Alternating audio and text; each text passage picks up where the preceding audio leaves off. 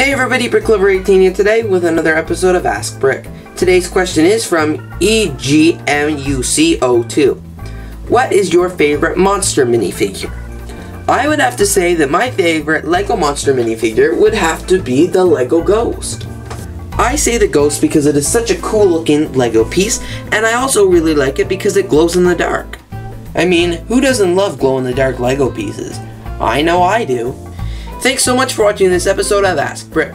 Thanks EJMUCO2 for your question, who is my favorite LEGO monster minifigure?